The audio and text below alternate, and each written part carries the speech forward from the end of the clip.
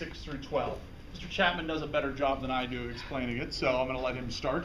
Oh wow, now you put the pressure on. I okay, know. so basically, when you look at the IB learner profile, these are a series of nine attributes that all of IB wants to grow and encourage in their students. And it's not just the diploma for 11th and 12th and the middle years for 6th through 10. It's actually, there's a primary years program that we don't have for like kindergarten through 5. And if you look at this list of attributes, it's pretty heady stuff. You know, balanced, open-minded, principled, reflective, thinkers, communicators. Um, uh, what am I missing here? Risk takers. And I want you to, whenever we're doing things in class, we have these at the back of our minds. Now, it's not like you get a score for this. Oh, you get a four out of five for being open-minded today. Good job.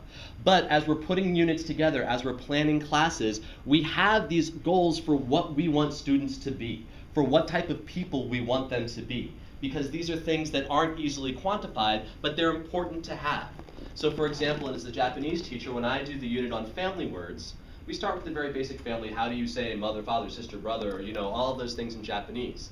And we talked about Japanese families and our families, but one of the things that we always go back to is being open-minded and recognizing the fact that families in Japan might not look like they do here, and your family might not look like your family. And being able to describe the differences in Japanese is an important first step in this. And so I think that's always at the back of the mind. And at the start, Mr. Eamon, was it Mr. Eamon or Dr. Walters, was talking about some of the great places that our students are going. You know, Penn, full ride to Columbia, Cornell, full ride to pre-med for Drexel, you know, CMU.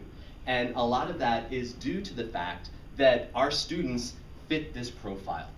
It's not just that they have the knowledge that they need to do well on the test. They're balanced and they were able to take care of all the different responsibilities and things that go into being an IB student and just an educated person in the world today.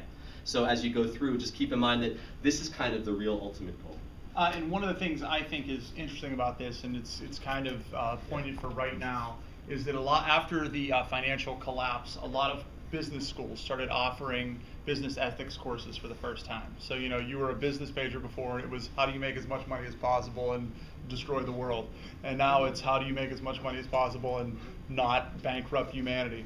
So, you know, it's, it's something that IB's been doing for a long time, and I think that that's kind of a, an interesting perspective. And what this does is that I always explain to people that our kids are interesting people. They really are. Um, they're not a typical kid. They don't talk about, I mean, they still talk about the typical kid stuff, but they know about things that other kids their age don't know about because of the programming, because of how we do things, and because of uh, one of the courses that we'll talk about here in a few minutes. And, and, and I just really enjoy our kids. I think that they're very interesting people, and I'm, I'm, I'm proud of most all of them. Yeah, just yeah.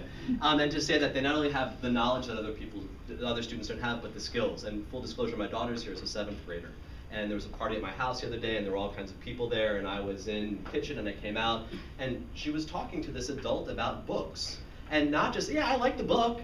You know, it was like, oh yeah, well I really like that little plot twist at the end, and I thought they developed the characters really well, and they were having a back and forth and she wasn't coming across as pretentious. No, I'm biased, I know, but she wasn't coming across as pretentious. And the, the, you know the adult was making comments back and forth, and it wasn't like she ever got a class where oh hey nine out of ten for conversational skills, you know. But she just had the wherewithal to tie what she had read in that book to the bigger picture, and that was in seventh grade. You know, and a lot of those skills she developed, I know, over the sixth and seventh grade time here. And so I think, you know, sometimes, especially now in education, we focus very much on this test and how well you do on this test. And so much of this is the broader picture. And now, I think you'll talk about yeah, the end. Yes. I'm going to talk about the end, the diploma program. That's 11 and 12.